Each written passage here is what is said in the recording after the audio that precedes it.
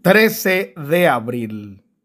Muy buenos días, queridísimos hermanos. ¿Cómo están? Yo muy feliz de despertar a la vida, al amor, a la fe y al trabajo. Pueblo redimido por Dios, anuncia las maravillas del Señor, que te llamó de las tinieblas a su luz admirable. Aleluya.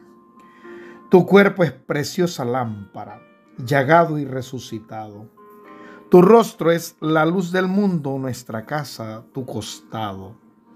Tu cuerpo es ramo de abril y blanca flor del espino, y el fruto que nadie sabe, tras la flor, eres tú mismo.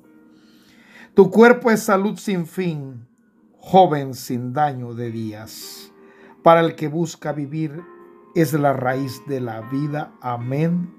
Quiero que tu costado sea mi casa. Qué linda imagen, metáfora.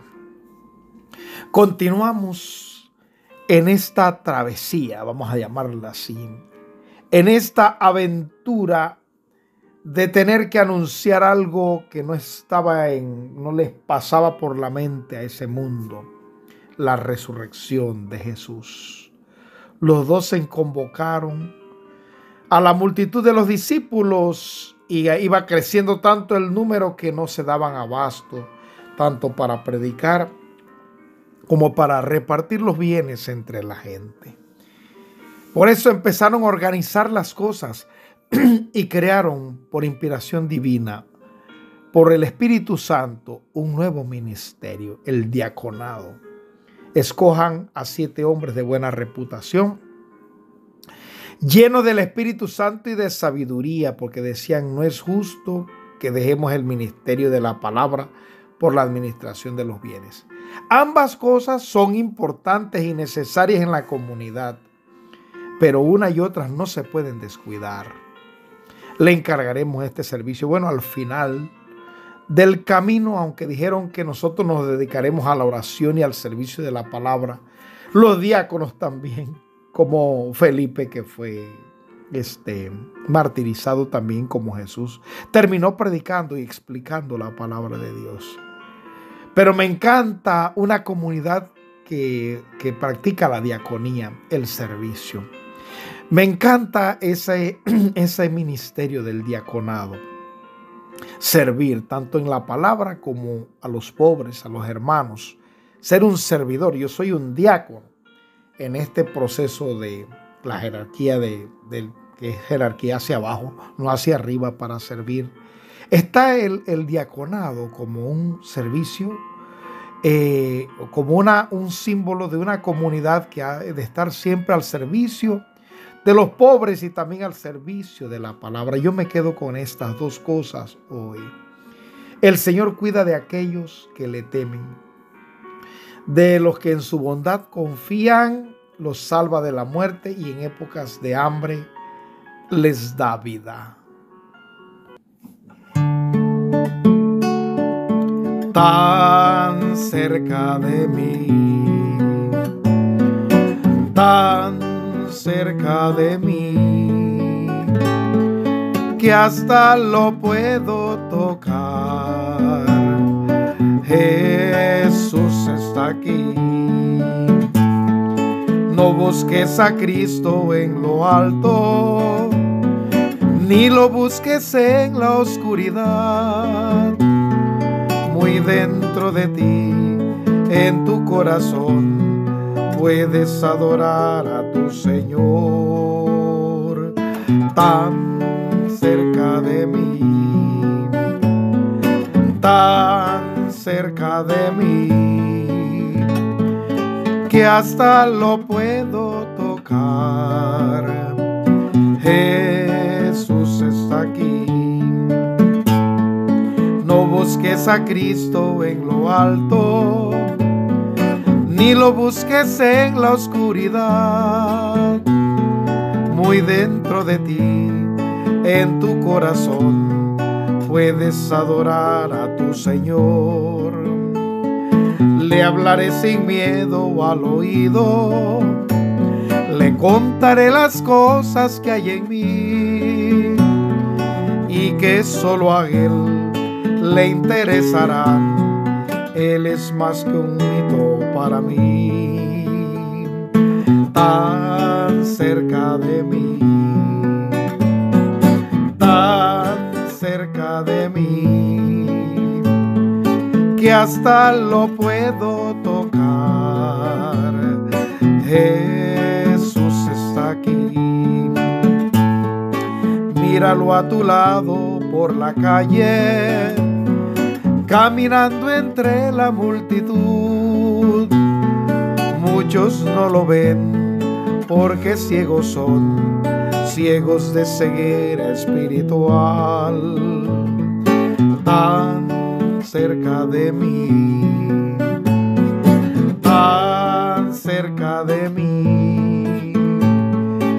hasta lo puedo tocar. Jesús está aquí.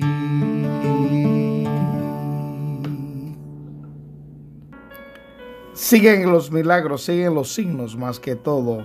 Juan 6, Jesús camina sobre el agua. Después de la multiplicación de los panes y de toda la labor de atender y dar de comer a la gente, se fue al otro lado del lago. Eh, había un viento fuerte y las aguas del lago se iban crespando. Eh, ahí iban solo los discípulos, pero habían avanzado unos 5 o 6 kilómetros, que el lago más grande. Vieron a Jesús caminando sobre las aguas qué milagro, que sería un fantasma. ¿Quién puede caminar sobre el agua? Va contra las leyes de la naturaleza, de la gravedad. Y acercándose a la barca se asustaron. Pero él les dijo, soy yo, no tengan miedo. Siempre Dios nos aparece en los momentos también de, dificultad, de tormentas, de, de tempestades. Ahí aparece el Señor y nos dice soy yo, no tengas miedo. Qué consoladoras y qué seguridad nos dan estas palabras de un Dios que está por encima de todo y sobrepasa las leyes de la naturaleza y cómo no va a sobrepasar todos los límites y miserias humanas. Si Él está, hay solución. Ellos quisieron recogerlo a bordo, pero enseguida la barca tocó tierra y en el lugar a dónde se dirigían. Bueno, en otro evangelio, Pedro le dice, yo quiero ir, quiero caminar y lo empezó a hacer. Pero luego dudó como nos pasa a nosotros y se hundía y él dice, Señor, sálvame. Bueno, como quiera que sea, no es, no es nada fácil estar en el mar encrespado. Es siempre, da miedo, da terror, pero ahí está Dios, aún en la noche más oscura de nuestras vidas. Allí está el Señor porque no nos va a ocurrir eso de que nos vamos a hundir. Con Él jamás nos vamos a hundir. Caminaste sobre el agua, caminaste todo un rey. Y tú quieres que yo lo haga con la fe aunque la gente me comente que eso no va a suceder, yo sé que puedo al creer en su palabra. Yo sé que puedo caminar sobre el agua, yo sé que puedo caminar con fe, pero si quito mi mirada de él, sé que me hundiré.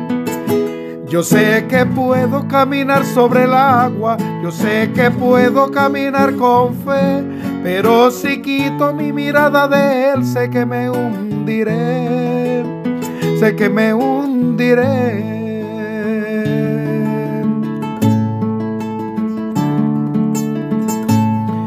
Caminaste sobre el agua, caminaste como un rey, y tú quieres yo lo haga con la fe.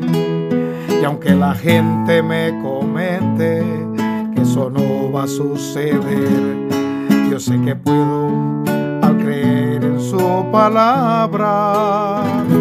Yo sé que puedo caminar sobre el agua, yo sé que puedo caminar con fe, Pero si quito mi mirada de Él, sé que me hundiré.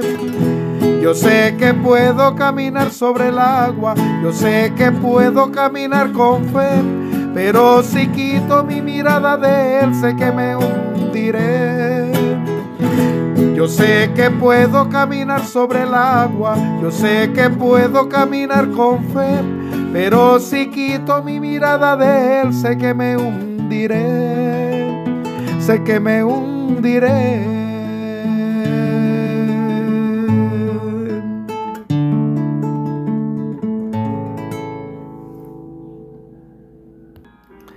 Me encontré esta canción, mm, no sé quién es el autor, pero está aquí interpretada por eh, el grupo Dei Verbum. Pero linda no es para esta ocasión en que Jesús camina sobre el agua, tú y yo también podemos caminar sin hundirnos. Es la fe la que nos sostiene. Yo no puedo decir otra cosa que mi vida está hecha para vivir de la fe. No sé qué sería de ella sin la fe. Creo que no tendría ningún sentido. Por eso yo creo firmemente que el Señor cuida de aquellos que lo temen y que en su bondad confían. Yo me sumo a esta oración de este salmista. Por eso la palabra del Señor es sincera, todas sus acciones son leales. El Señor nos salva de la muerte. Yo confío en esta palabra, no sé si tú también te atreves a confiar que Dios nos salva de la muerte y en épocas de hambre nos da la vida. En época de dificultad, allí está Dios. Por eso Cristo ha resucitado. Él es el Señor que creó el mundo y que nos ha salvado a todos por su misericordia. En realidad vivimos de la compasión y de la misericordia de Dios.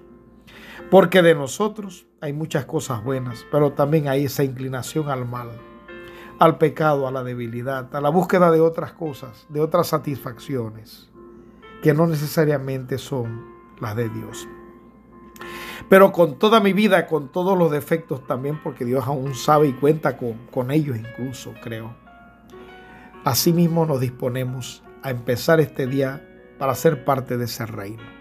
Dios bendícenos en el nombre del Padre, del Hijo y del Espíritu Santo. Amén. Te envío un fuerte abrazo en la cercanía del amor de Dios. Yo creo en la resurrección.